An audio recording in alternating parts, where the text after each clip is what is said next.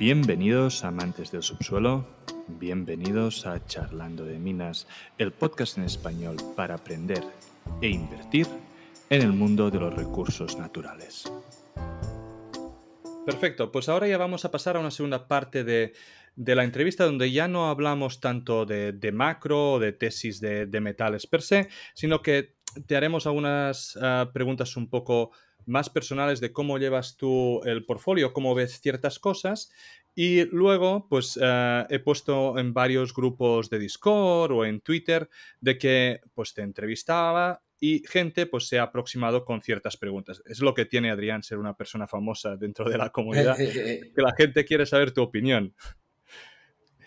Entonces, empezamos puede con, porque eh, empalmando un poco con el tema de Rusia, ¿no? Eh, todo el mundo dice, y yo primero, el balance riesgo-beneficio, ¿no? ¿Es o no es adecuado para una inversión? Sin embargo, es muy difícil sacar un número, un indicador numérico, ¿no? Que nos indique que realmente, pues sí, ese riesgo-beneficio es bueno o, no. Entonces, ¿cómo cuantifica el riesgo-beneficio, Adrián? ¿Cómo se cuantifica? O, es un sabor que viene. pero riesgo, claro, riesgo en general de la inversión. Sí, claro, aquí.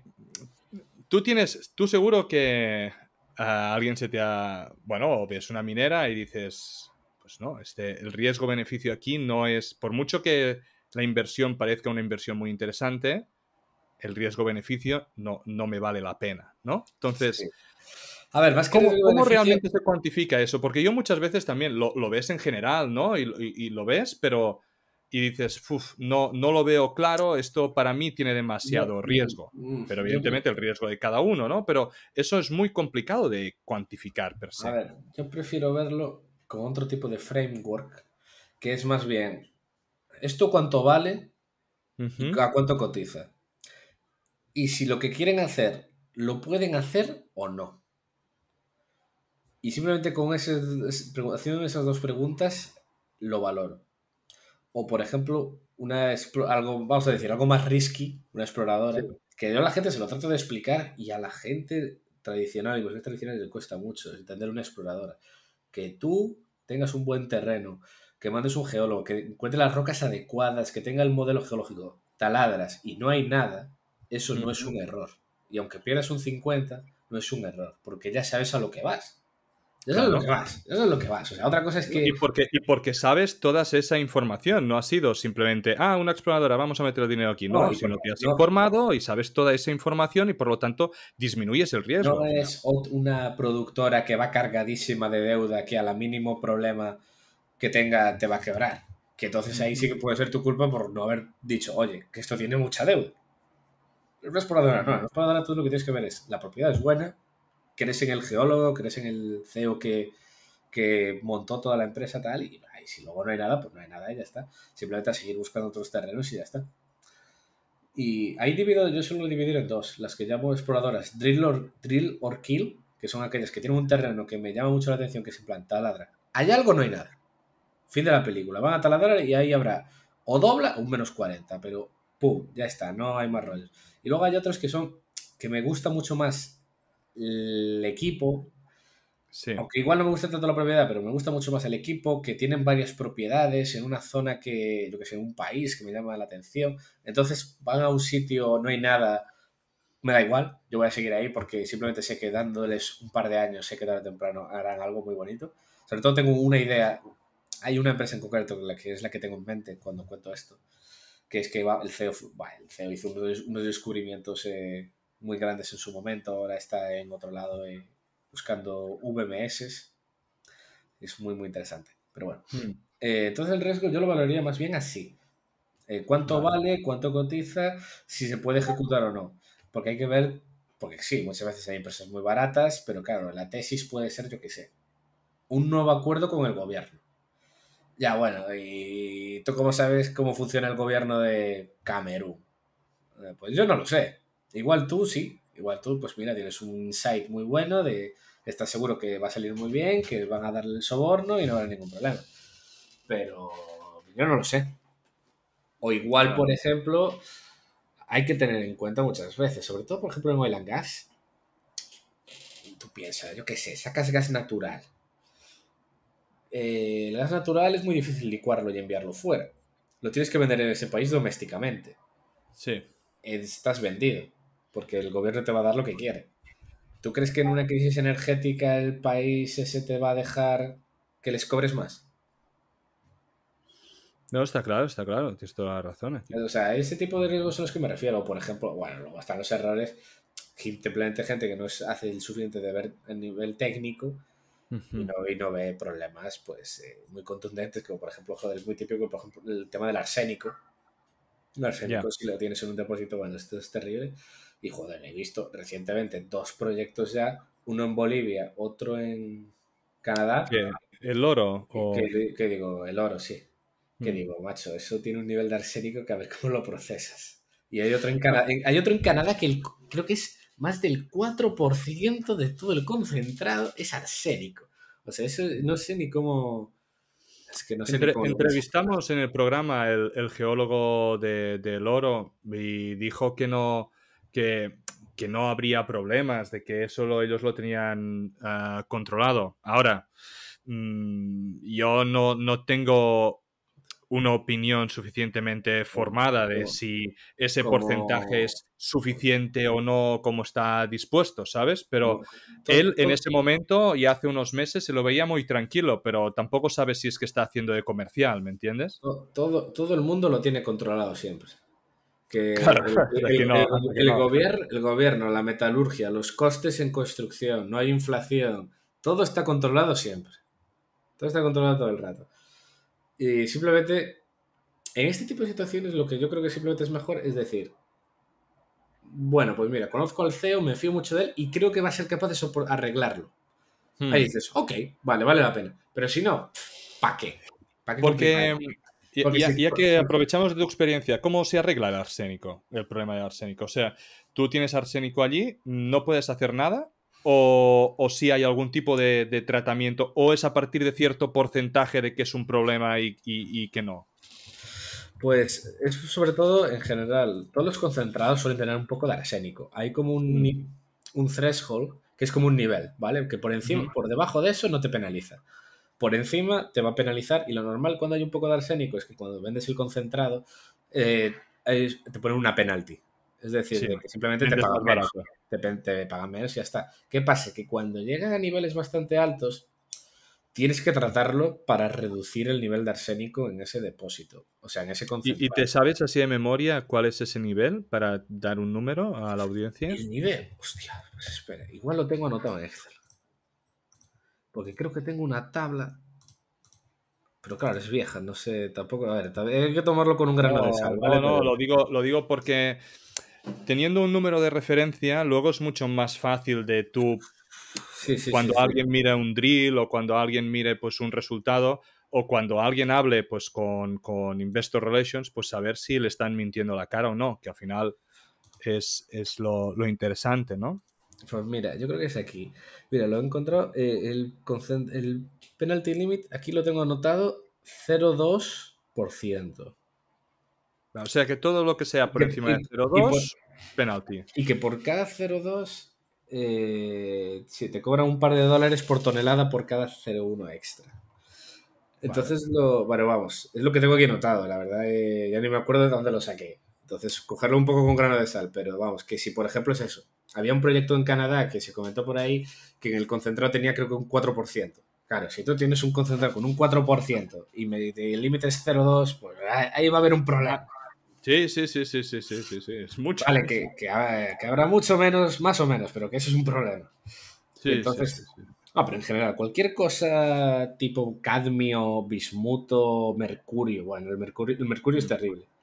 Eh, que te aparezca en concentrado cosas rollo... Pero vamos, por ejemplo, de hecho tengo aquí anotado, el cadmio a partir de 0,03% ya es un problema. Porque el cadmio es bastante, además, bastante contaminante. De hecho, los, por ejemplo, suele aparecer en los depósitos de fosfatos, que por ejemplo, los depósitos marroquíes tienen bastante cadmio. En cambio, eh, los canadienses no. y por eso cada vez es un tema que cada vez se está haciendo más énfasis. Pero bueno, total, el tema del... se puede procesar con ciertas tecnologías. Y de hecho, por ejemplo, Newmont creo que estaba montando una planta en, eh, en Perú.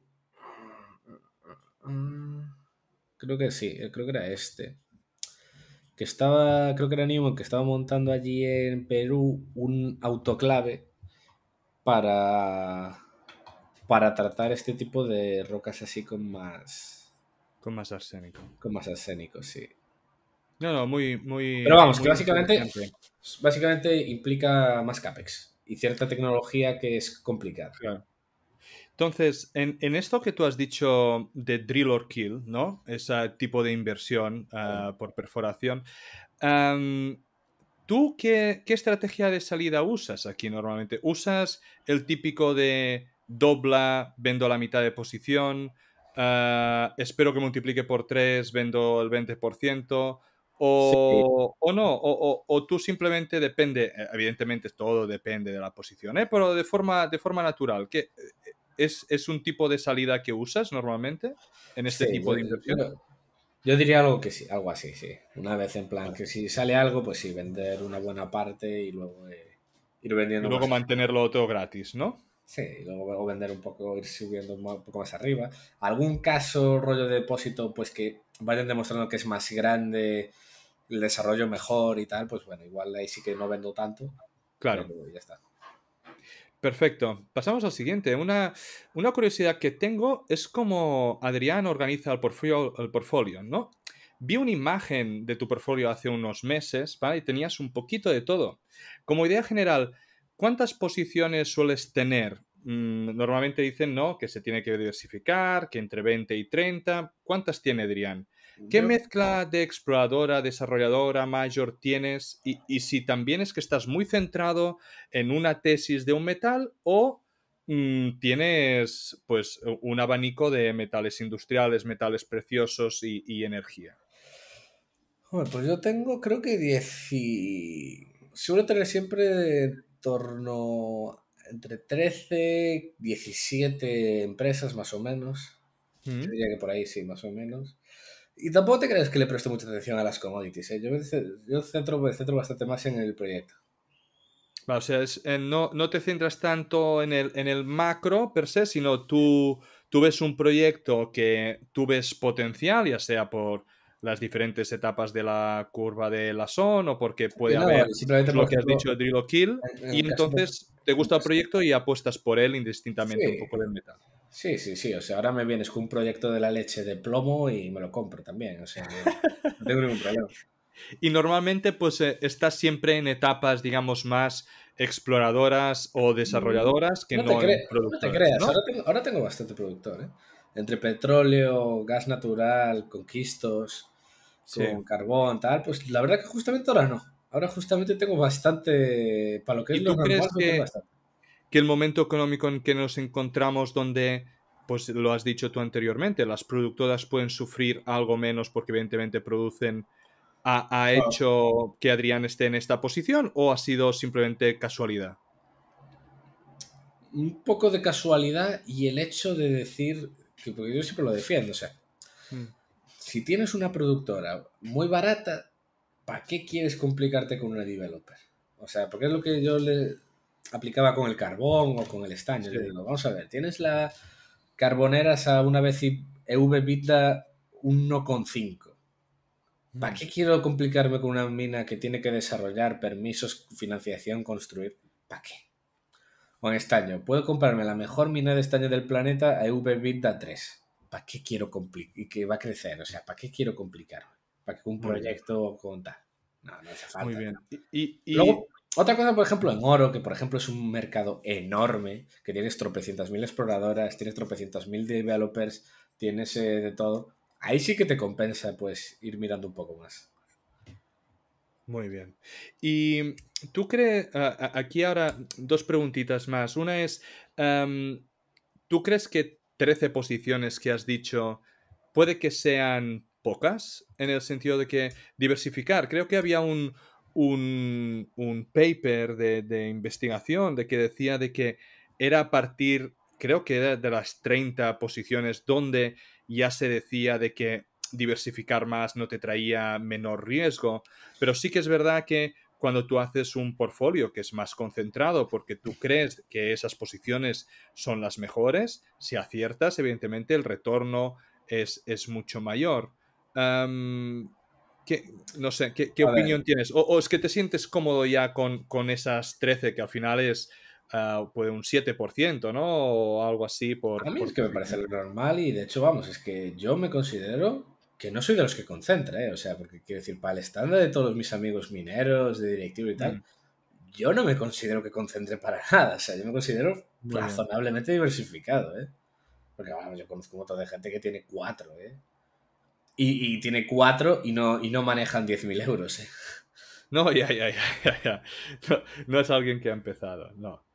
Vale. Em, ¿y, tú crees que tendrás un... Y ahora vuelvo a la pregunta de inicio, ¿no? De, de ¿Crees que tu portfolio cuando dentro de 20 años o 30 años, cuando seas un... Porque tú eres muy joven, ¿no? Una persona mayor. Ah, ¿Vas a tener un portfolio parecido y el riesgo asociado a él va a ser parecido? Yo creo que sí. Evidentemente estamos hablando que puede que el interés acumulado, ¿no? De aquí a 20, 30 años, pues evidentemente tu, yo creo que va, de broker va a ser diferente. Yo creo que honestamente sí va a ser. Yo creo que sí. Por el, por el, tema de que simplemente lo veo, que cada vez que invierto en algo que está fuera de mi círculo de competencia, si no es confiando en alguien, eh, mm. sale mal. De hecho, siempre lo bromeo con Paco, que cuando me salgo, cuando compro algo suyo, eh, lo he gafado. Siempre lo bromeo. Y, de hecho la gente me dice, oh, qué peligro, inviertes solo en minas. Yo le digo, cabrón, si hubiera solo invertido en minas, mi rentabilidad igual flipabas cuántos puntos más ganaba. bueno, al final es, lo que siempre se dice, ¿no? Y vosotros también lo, repetís mucho en el, en el, podcast. Al final se trata uno de tener un, un, círculo de conocimiento, sentirse más o menos cómodo e ir aprendiendo mucho de una cosa e invertir solo en lo que uno sabe. Y si tú estás especializado en, minas y, yo también todo lo tengo invertido en minas y como muchos otra gente, pues ah, bienvenido porque es al final vas a ir aprendiendo más, especializándote más y evidentemente cada vez vas a ser mejor. Y aquí puedes cometer 50.000 errores, pero cada error es un aprendizaje. Es que es una locura, ya te digo. O sea, es que vamos, no, no, no lo quiero ni pensar. O sea, cuánto mejor me iba a la cartera si no hubiera comprado de, si hubiera hecho solo minas, joder. Perfecto, pues vamos a, terminar en la última sección de la entrevista, que es básicamente las preguntas de, la audiencia para ti. Y eh, básicamente son, son acciones que tú has, apoyado o que tú has hablado de ellas y que por lo tanto... A ver, ah, a ver disclaimer. Disclaimer. La gente se monta unas películas muy raras, ¿eh? Porque hubo alguno que me dijo, Godas, pienso a veces en ti cuando dijiste que, que llevabas una mina de hierro en Ucrania. Y yo digo, ¿cómo? Yo no he comprado eso en la vida. Fue yo creo que era señor, señor Canario, creo que, la llevaba. Es que yo, a ver, yo hablé con el CEO, dije mm. que me llamó bastante la atención porque era, era más bastante high grade de ayer, de grado y tal, me llamó mucho la atención. Y, y hablé con él y lo comenté en la newsletter, oye, esta es de las que más me ha llamado la atención tal, pero luego al indagar más vi quién era el fundador de esa empresa, era un tío chunguísimo, vi que además había unos rollos por el tema de los derechos de la tierra, porque claro, es Ucrania, militares cerca, tal, pues claro, no, estuve ni cerca de comprar, pero, pero parece que simplemente dices que algo te ha llamado la atención y automáticamente es que sí, sí, esto va a multiplicar. Bueno, es que creo que, que Adrián al final es el poder de ser alguien con cierta repercusión mediática en un nicho de mercado que es muy pequeño. Entonces, cada vez que nombras algo, pues la gente ya pone la oreja ya, y, a veces el boca a oreja pues hace, eh, que esto lo, ha dicho Adriana, que no sé qué, uno dice que lo ha invertido y la bola se hace grande. Es, es, como la coña de... ¿Nunca has visto esto de unos niños cómo se dicen un mensaje a otro? Y que después, como el teléfono roto. El teléfono, después de 10 personas, el mensaje no tiene absolutamente nada que ver con el original. Pues es bastante A mí me pasa bastante eso. Sí, sí, sí, sí. Perfecto. Pues uh, vamos allá. E, en esta no me vas a poder decir que es teléfono roto, ¿eh? porque es sobre Alfamín. Uh, han empezado a sonar campanas de OPA, ¿no? Hace unas semanas o unos meses. Y ha coincidido en que ha sonado lo de la OPA con que la acción está cayendo a plomo junto, evidentemente, con el estaño, ¿no? Sí, sí, sí También ha habido problemas en el país, que pasa lo mismo que en el pasa algo en el país, ni que sea en el otro lado, y ya a la mierda la mina, ¿no? No, no, la verdad sí, bastante locura, sí, sí, sí. No, el tema fue... Sí, di, di, di. No, no, o sea, ¿hay otro, otro apartado más? No, no, eh, comenta con eso y luego te digo la, la pregunta per se que, que, tengo. Ah, bueno, vale. No, lo de Alphamine fue básicamente eh, eh, al final Alphamine está controlado por un private equity. Y un private equity siempre va a querer un exit. Siempre. Mm. O sea, es lo que hace. Mm. Entonces querían venderlo. Y claro, ¿qué hicieron? Pues los tíos de Alphamine pues, son unos zorros y que se lo filtraron a Bloomberg de que estaba en un proceso de venta. Claro, para tratar de inflar el precio y así que los compradores tuvieran que pagar más. Lo normal. ¿Qué pasó? Pues que justamente tuvieron tan mala suerte de que comenzó este proceso de venta, hubo un par de, seguramente, pero a partir de ahí, claro, el resto ha sido aquel y canto cerrado y no se supo nada más. Seguramente hay varios grupos haciendo. Porque la gente piensa. Porque hay un problema. La gente de leer películas y leer historias de Silicon Valley, la gente piensa que el M&A es un fulano que llega a una mina y le dice: Me encanta, toma, 500 millones, da un cheque. Con un maletín. En un maletín, en una servilleta que lo cierra en un restaurante y se va. Y ya dice: Ah, vendido. Eh, a ver, eso, eso sucede, pero no. No es Las historias que se cuentan en la película, pero no es así. Y la realidad es que estas cosas van muy despacio, tienes que mandar equipo técnico, equipo contable, tienes que revisar cosas. Y son, y son cosas que llevan meses. Son procesos que llevan un par de meses. La gente, ya te digo, si tiene esta imagen de que, que, como que a alguien se le enciende una, una luz y, y, firma un cheque en una servilleta, o sea... Para mí, para mí realmente aquí... Que lo, van a vender, segurísimo. ¿Cuándo? No lo sé. Pero que lo van a vender es seguro. Y lo van a comprar seguro. Pero seguro. Simplemente por el hecho de que es Denham, es un private equity y quiere salirse. O sea, porque es lo que hacen. Claro. está, o sea, no hay otra. Y entonces, claro, se les coincidió justamente de que la gente eh, pensaba eso, pensaba que, oh, un mes y habrá una OPA. Se juntó que la recesión, que la caída del estaño, que hubo una jarana ahí con un grupo unos señores de la guerra ahí en la frontera con Ruanda, que siempre pasa. Y claro, pero vamos, yo te digo una cosa, a los sudafricanos nadie les va a enseñar una mierda de cómo trabajar en África. ¿eh? Los sudafricanos son los mejores mineros que hay en todo el mundo.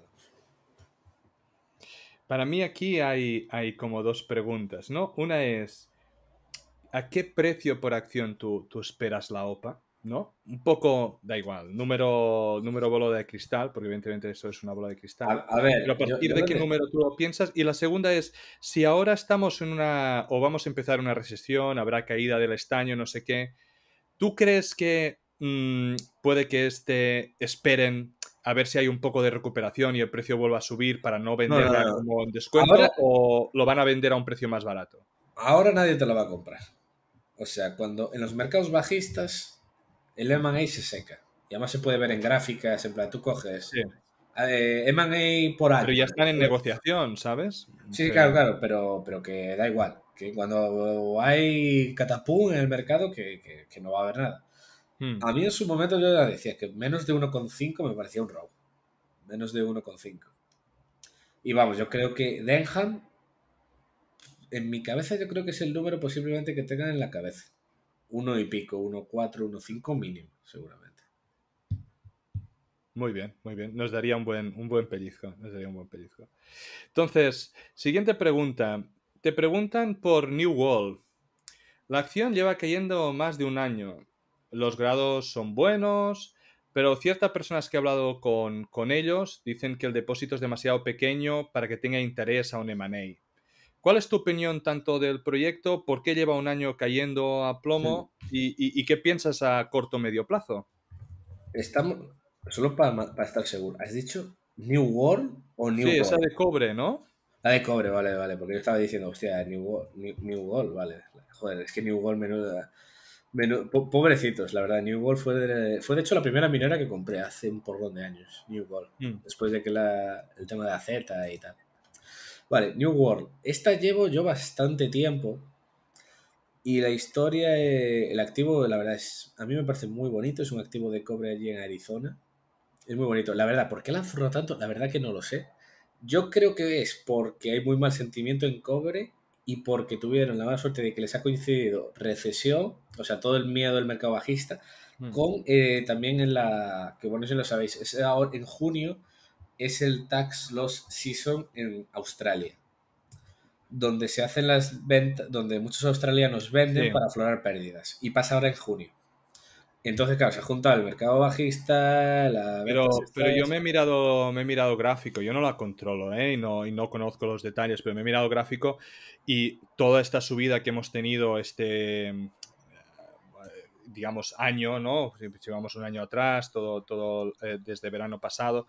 Sí, sí, yo tengo ha estado, ha estado plano bajista, o sea que no se ha movido con el precio del, del, del cobre. Entonces, hay algo allí, hay algo, hay algo que no termina de, de funcionar, porque si el mercado se lo creyese, uh, debería haber subido junto con el precio del cobre, ¿verdad?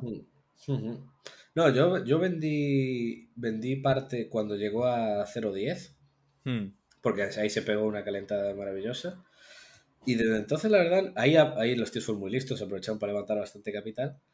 Hmm. Y la verdad que desde entonces, la verdad, no han tenido, nadie le ha tenido mucho cariño. También hay que tener en cuenta que hay que, que, hay que tener en cuenta, hay que, el precio no es exacto porque hay que añadirle el spin-off que dieron. O sea, habría que ah. añadir como ese dividendo especial. Entonces realmente hmm. es como si cotizase más. Y que dieron el spin-off del cobalto. Pero sí, la verdad es que no tiene. El, CEO es un geek, a mí me encanta, se llama Mike, que hablé un par de veces con él. Es muy, muy... Y además, sobre todo lo que me gusta es que tiene claro que esto lo, va a mover para adelante. Y es verdad, es un activo pequeño, o sea, no, no es un gigante. O sea, los drillers que han seguido sacando y tal, posiblemente ahora tengan como 10 millones de toneladas, con un grado excepcional, pero también te digo, es pequeño, pero es que tiene un grado que no lo encuentras en, el, en un proyecto undeveloped, sin desarrollar, ¿Tú, crees que es interesante para un M&A o, o, crees que es demasiado pequeño como, como me han dicho? No, no, yo creo que es demasiado pequeño. Pero es que me da igual, o sea, yo no busco que lo venda. O sea, eh, yo he hablado con Mike y Mike tiene claro que quiere montarlo. Y además ya, él ya me ha dicho los números que estima de CAPEX, de OPEX, cómo ahora quiere simplemente darle un poco más de tamaño a esto, que por eso lo ha retrasado, estudios y tal. igual es por eso, porque han retrasado bastante el timeline porque mm. querían antes tener. Porque, claro, la, gente, más de la gente. Sí, porque la gente. En, sus cabezas todo es muy fácil. De, sí, taladras, haces un estudio así como de la nada. El problema es que, por ejemplo, para aplicar los permisos, necesitas decir qué planta vas a poner y qué tamaño vas a poner. Claro. No puedes aplicar a una planta demasiado grande sin haber explorado antes. Porque mm. igual te queda, te comes los mocos con una planta sobredimensionada. Entonces prefirieron seguir taladrando, aumentar los resources, para una vez ahí tener la seguridad de aplicar a los permisos y demás. Pero sí, no, no, tampoco tiene razón. O sea, no creo que sea un activo, salvo igual alguna. Pero bueno, no, no lo voy a comentar, pero sí sé de una mina de, sí sé de una mina de cobre que les, echó, que les echaron un vistazo. No voy, a, decir dónde, pero yo sí sé una que le miro. Y tiene sentido igual para alguna mid-tier. Una, en plan, una típica así que tenga una mina y quiera comprar otra de cobre y que ya produzca algo de cobre, pues ahí sí que podría tener algo sentido. Pero sí que es verdad, o sea, es pequeño. Pero vamos, ya le digo, yo creo que lo compensa totalmente con el, grado que tiene. Y además de que lo mejor es que a mayor profundidad el depósito mejora en vez de empeorar. Cada vez es más grande, más ancho a profundidad. Además de que hace una cosa, sumen un poco de reservas y... hay una cosa que me flipa, hay una cosa que me flipa y es que es la única empresa que he visto nunca que publica el grado post-recovery. O sea, el, grado ya, el, grado ya, está reducido por la recovery. Eso no lo he visto jamás. O sea que en bruto es todavía más. O sea, bueno, el grado es que una joya. Además la historia es muy interesante porque un activo que creo que no yo lo tenía una una fundición, una chatarrería, una empresa por ahí de metales de la, de la zona, quedó olvidado ahí, quedó olvidado varias décadas, o sea, es, a mí me flipa. La verdad, es, me parece un activo súper bonito. Y vamos, que a, mí me, que, a mí me da igual, aprovecho para comprar a Totiplay. Muy bien, pasamos a otra de tus estrellas recientes. Los developers hay que tener claro que si tienes claro que lo van a avanzar, da igual el precio. Si lo van a avanzar de verdad, el valor va a aflorar. Porque pienso, por ejemplo, en el caso de Orezo. Sí, vamos a, voy a preguntarte luego por Horizon y Adriatic, ¿eh? O sea, ah, que, ah, vale. Pues guárdatelo, Vale, pues eso, eso va después entonces. Ah, vamos ahora con Angle Resources, ¿vale? esa minera de una gráfica completamente horripilante. Es, la cosa, sí, sí, la gráfica es la gráfica más terrorífica de la historia. Sí, sí. Que han tenido un par de ampliaciones hace poco para tener dinero para los drillings, ¿no? Para. Representa que seguro que hay mineralización. Es más, ¿no? Publicaron algún tuit diciendo, sí, sí, que algo que, que tenemos, ¿no? Mm. Aquí dos cosas, ¿no? Que de alguna forma están esperando los resultados del laboratorio, ¿verdad? No, mm. Y deberían ser próximos. Y, y, luego la segunda pregunta que yo tengo es, ¿no crees que hay un peligro en esta acción en el que debe haber mucha gente atrapada en precios superiores y que por mucho que haya un drilling bueno o una demostración de que esto pues tiene potencial, haya una presión vendedora a la mínima que haga pues y que no y que permita que la inversión no, no sea tan buena o que, o que realmente no se vea un, un, incremento como debería ser por esa presión de la gente de vender y querer escapar de una inversión fallida al mínimo que, que vuelve a rebotar. Pues muy buena pregunta. Yo creo que en parte eso ha sido lo que ha hecho que, esté tan jodida. El hecho de que, a ver, porque a esto le han pasado mil cosas. Tuvieron primero que se salió un porrón de peña de la Shell. O sea, porque esto, claro, viene salió por una reverse takeover, tal. Entonces, claro, había mucha gente que, como más del 10% de las acciones estaban en manos de una de, de gente que estaba en la Shell, que le da que, que simplemente como haber estado ahí esperando, pues multiplicaron el dinero. Entonces les dio igual. Empezaron a tirar la acción. Se junta con que llega verano. El verano de 2021 fue durísimo para el oro. O sea, todo el oro le zurraron bastante. Llega, a partir de ahí, yo creo que es cuando ya sucede, en ese verano ya todo empieza a, tomar por culo y sucede que le que llega el otoño, que se iban a poner a trabajar en Nevada ¿Y qué sucede? Que va a ser el jefe de geólogos, que es un crack, o sea, un verdadero fenómeno. El tío que está, el que es como el jefe del proyecto de Nevada, es un tío que se llama Ken, que es muy bueno, pero muy bueno, o sea, de rollo geólogo que te mira un terreno que no hay oro en superficie y te dice, hay oro debajo, pum, taladra y ahí encuentra algo. O sea, o sea, me han contado historias de él impresionantes. Y el tío dice, hay que rehacer el proyecto o sea, no rehacer el proyecto, hay que rehacer el plan de exploración. Meter más nuevas geophysics, el geological mapping, o sea, hay que rehacer cosas. Toca, pum, se para el ya no se taladra, se bloquea. Todo, entonces, eso, como se para, no hay noticias y de repente la empresa se queda sin dinero. Como además hay mucha gente ya atrapada, se quedan todos hasta los cojones, la empresa la mandan ahí en esos meses, en otoño, la mandan a los infiernos del todo y después de eso se junta con que cuando ya están con el plan elaborando y tal, en esa zona de Nevada no se puede taladrar en invierno porque eh, por la humedad. Claro. Entonces tienen que esperar a que se seque, por lo que hay más, por lo que te quedas básicamente con la acción turbo muerta durante un porrón de meses. Cuando por fin dices, venga, vamos allá, claro, como no has podido levantar mucha pasta, te hace falta más pasta. Y cuando por fin tienes la pasta, tienes que volver a ampliar, o sea, perdón, amplías. Y así cuando, cuando por fin tienes la pasta, de repente viene una caída general de mercado. Y, aún, más en la miseria. Con una liquidez ya nula y donde ves que la acción eh, que pierde eh, millones de, de capitalización con medio millón de euros. No, esta es muy dramática, pero vamos, yo creo que simplemente a partir de este drilling yo creo que sí que se va a empezar a dar un poco la vuelta. Y, porque también lo que decía, habrá, habrá, presión vendedora, pero también te digo una cosa, la gente es hiper, hiper cortoplacista. Y en cuanto simplemente salen unos vídeos bonitos, llama la atención, la, la acción ya sube, ya a, todo el mundo se le olvida enseguida lo que pasó antes. La gente es muy cortoplacista.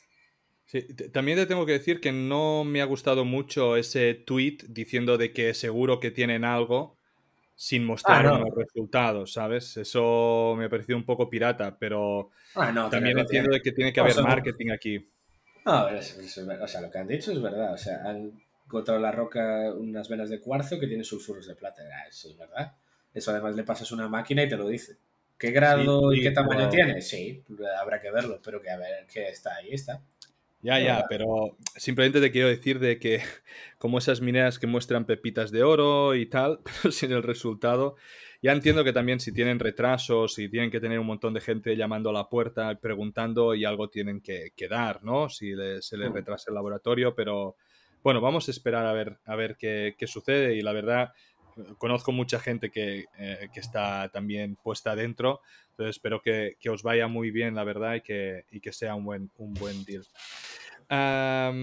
sobre preguntas me quedan, digamos, dos más o, tres, pero te la voy a combinar las dos últimas. la primera es uh, y ADT, ¿vale? Uh, Adriatic y Orezon tú lo has dicho, ¿eh? todo el mundo está ansioso y es cortoplacista y aquí estamos en Orphan Period, ¿no? Eh, esperando a que se monte la mina o esperando que entren en producción. Todo el mundo pregunta para ver cuándo despertarán. Eh, yo pensaba que no podría, podría volver a comprar a Adriatic a los precios que, sí, la verdad, compré. Em, entonces, no sé, quieres, yo entiendo que todas las dos minas están bien, es simplemente el, momento en que nos encontramos del mercado y esperar. Uh, un poco lo que piensas. Es que ahora es todo lo contrario, para mí está subiendo, porque simplemente está plan con todo el mercado ha colapsado. Ese es el equivalente de acción que está subiendo, pero porque todo cae, ese cada plan. Y me recuerda mucho a, a WAF cuando arrancó la mina en 2020 que caía y llegó a estar a a nada de valoración. Y luego después, en cuanto todo se calmó, eh, voló. Y yo creo que a Horizon le pasará lo mismo. Y en Horizon, ¿qué pasó? Que yo es la acción que más años llevo con ella en cartera. Llevo con ella bastante tiempo. Era, te, te, sabrás tan mal de venderla cuando toque. Sí, no, no, me, saldrá, me, me, salvará muy mal porque ya digo, es la que más tiempo llevo con ella. Le tengo un cariño además enorme al equipo, tanto a Paddy como a Vanessa. Y vamos, que bueno, de hecho que debe con ellos el mes que viene para tomar una cerve en Vancouver. Y me y, y, vamos, yo veía eso, que la acción pues te baja, te sube, que si el oro, que si el proyecto no sé qué. Paddy dijo, me, me, la suda todo. Aquí tienes, la, aquí tienes el estudio, aquí tienes la financiación, lo construimos. ya está. Y la acción yo la tengo de media como a 0,5 y está a 1 a 1,4 sin despertar. O 1,3. Y simplemente, o sea, si, si tienes una developer y de verdad va a ser una mina, tú tírala para adelante, de, desarrollala de verdad y una vez en cuanto la tengas funcionando, eh, multiplicará. Ya está. Si, la gente no lo aprecia, ya, ya, lo, ya, lo hará. Es lo que yo llamo aflorar el valor a la fuerza. Claro, claro, claro. Y eh, bueno, supongo es la misma opinión, ¿no? Por, por Adriatic. No, Adriatic simplemente, va, porque hubo mucho ruido con el tema de Dodik allí el bosnio-serbio en Bosnia. Él eh, está en una fase todavía de construcción la parte más temprana, todavía falta mucho todo por montar, eh, están todavía con los declines de taladros que lo van a hacer un, equipo turco.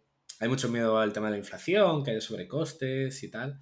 Entonces, eh, no, entiendo, la han penalizado y luego además, obviamente, repito, que está, eso está un mercado bajista que le han zurrado todo y ya está porque la gente no por algún motivo a veces piensa que sus acciones, porque las tienen ellos, viven aisladas en un mundo. estaría bien, estaría bien, si pagases un plus. es, que, me llama la atención, o sea, me dicen, Adri, ¿por qué esta petrolera ha caído tanto esta semana? Macho, porque todas las petroleras han caído, o sea, tu petrolera no vive en el vacío, o sea, no vive aislada. No, yo, muchas veces no les digo, ¿y esta por qué? Yo digo, no sé, busca en Google, ¿no te aparece ninguna noticia? Pues ruido, nada más. O todo el sector está bajando o, ruido. las mineras son volátiles, es lo que, es lo que hay. Es lo que hay. Vale, vamos a terminar con, la última porque además ya he abusado mucho de, tu tiempo. Ah, me han preguntado y además enlazamos muy bien con algo que has comentado al inicio de la entrevista, sobre tu opinión sobre los private placement, ¿no? Si te gusta participar en ellos. Y ya que es un programa educativo, me gustaría si pudiese explicar qué son los private placements y la diferencia con un IPO. No, los private placements son simplemente ampliaciones de capital que hace, bueno, lo, hace, lo puede hacer cualquier empresa, pero eh, las mineras es muy común, simplemente porque no tienen ingresos, están desarrollando el proyecto, entonces es bastante frecuente. Pero vamos, que lo hace cualquier, lo puede hacer cualquier empresa. Y simplemente son pues bueno, ampliaciones de capital donde el que quiera pues eh, acude, da dinero a la empresa directamente y donde además aparte de que las acciones pues en muchas ocasiones pues dan también warrants. Que muchas veces no. Por ejemplo en Australia no es tan común, en Canadá, Estados Unidos sí. ¿Y qué diferencia hay con la IPO para, para digamos, distinguir a la gente que está empezando? A ver, pues realmente no mucho. O sea, una IPO es simplemente cuando sale a bolsa por primera vez. Pero realmente es lo mismo. O sea, literalmente Pero capital la, IPO, la IPO no es pública y el private placement no, no puede acceder todo el mundo. En ambas, en ambas situaciones, eh, al final acaba entrando quien conoce a la directiva, básicamente. los contactos. ¿Te gustan, ¿Te gustan a ti los private placements? ¿Participas en ellos? Sí, yo soy. Yo, hemos hecho ya unos varios en Godard Research.